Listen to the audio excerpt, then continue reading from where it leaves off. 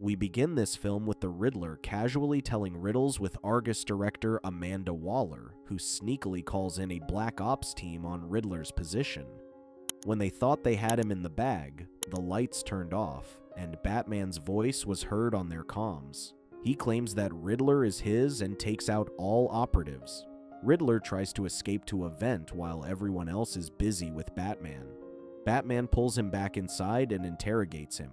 Having lost her team to Batman, Waller invokes Priority Level Ultraviolet to assemble Task Force X. Members of this new Suicide Squad are wanted criminals like Killer Frost, King Shark, Black Spider, Captain Boomerang, KG Beast, Harley Quinn, and Deadshot.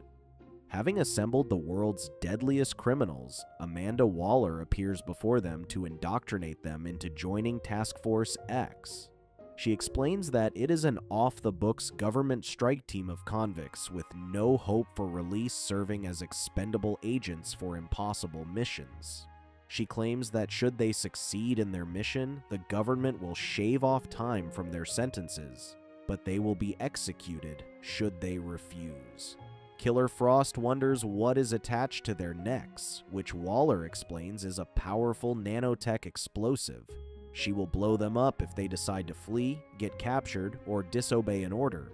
KG Beast calls her bluff, claiming she wouldn't bother gathering them if she intended to kill them. Waller suggests he put his claim to the test and open the door. The second he steps outside the room, the device on his neck beeps and his head explodes. Deadshot asks what's so dangerous with the mission Waller had to send in the newbies this time.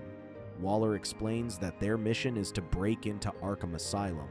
She tells them that a week ago, the Riddler was working for her when he suddenly went back on his contract and hacked into her computer system, downloading a file containing the identities and histories of every current, past, and potential member of the Suicide Squad. Riddler then threatens to release the information online for all to see. Waller explains that Riddler's copy is on a thumb drive in his cane, currently locked away in Arkham's appropriations room. They plan to get someone on the inside, to which Harley volunteers.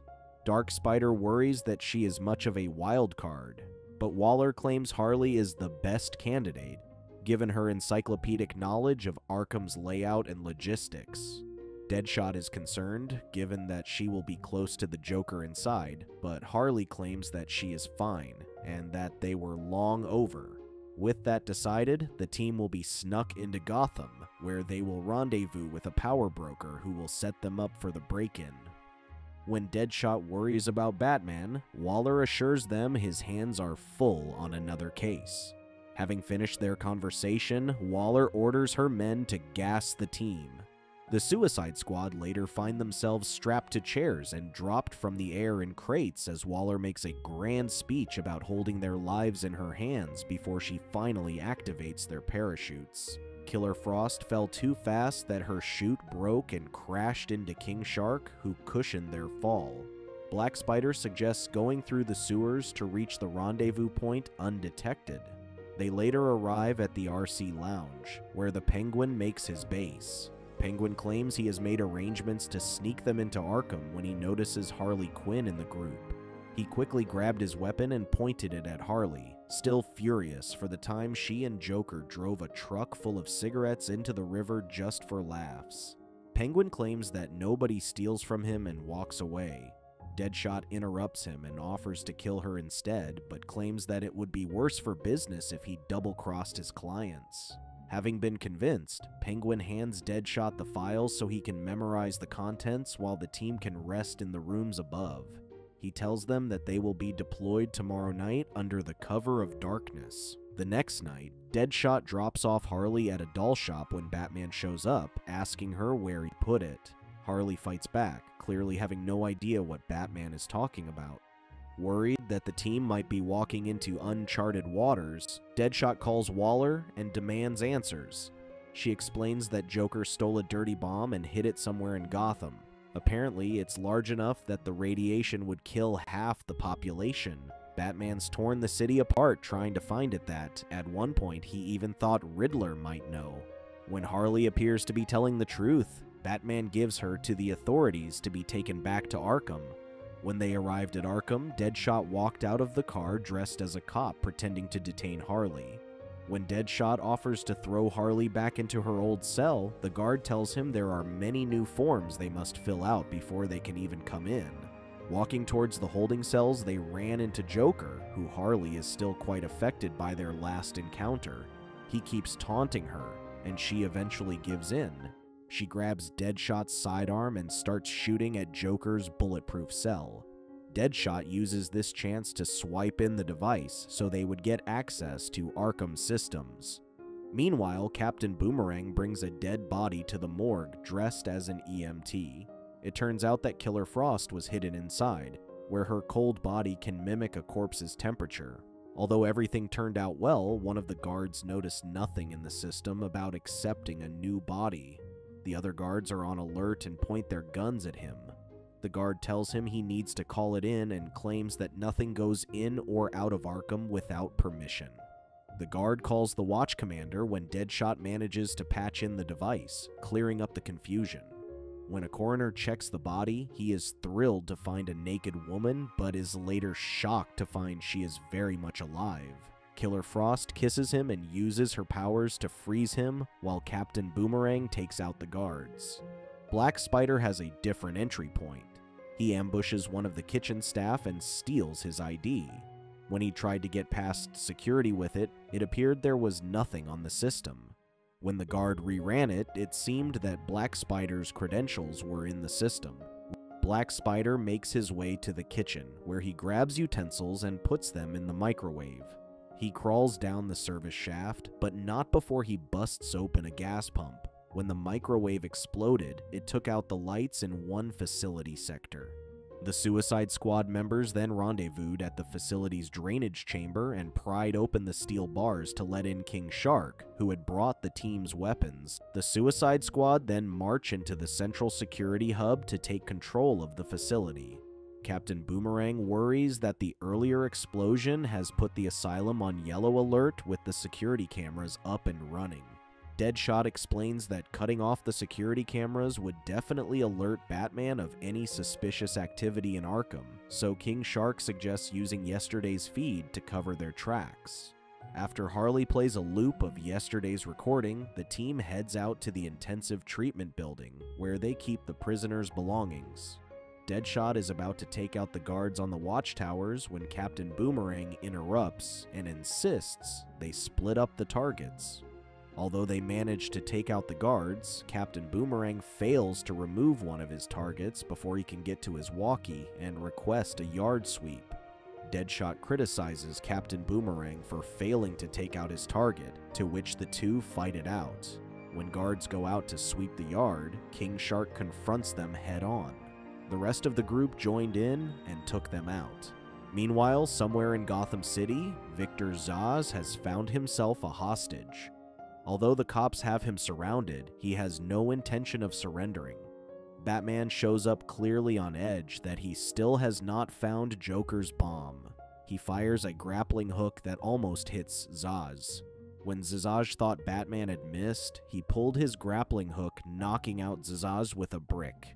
When he got back on the Batmobile, Alfred noticed that Batman seemed troubled too, which he explained that Harley was acting odd earlier.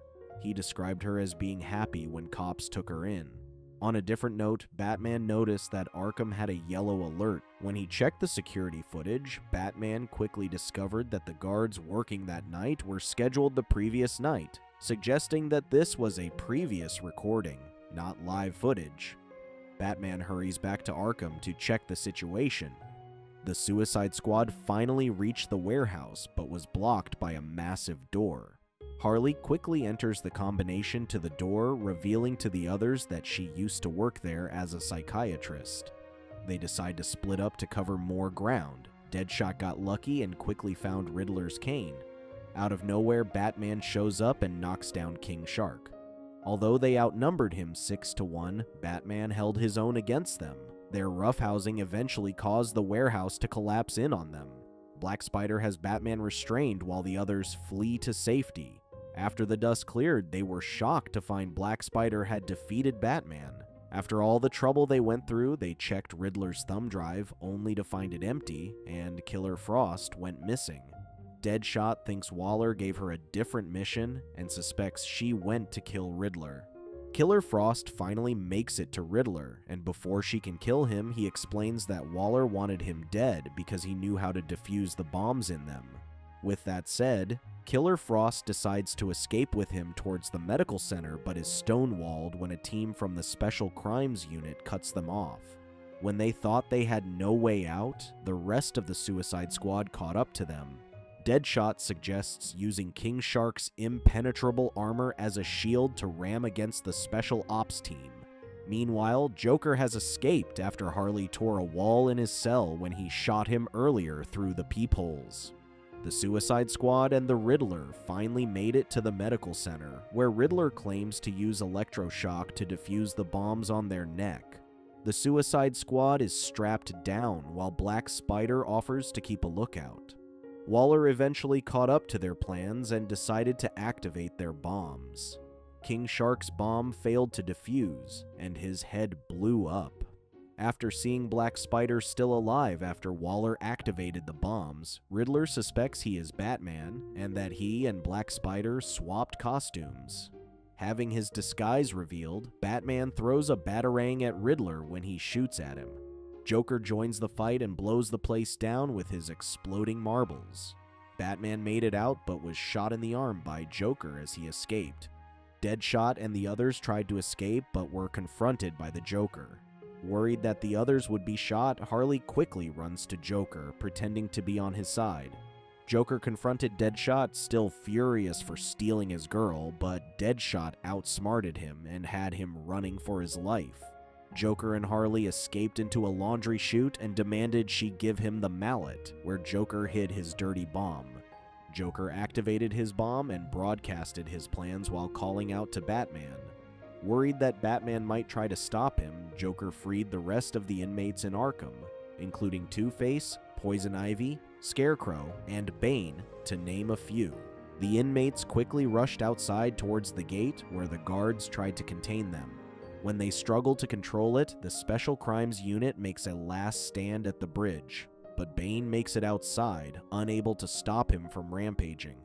Batman shows up and uses explosive gel on Bane as a distraction while he sneaks up from behind him.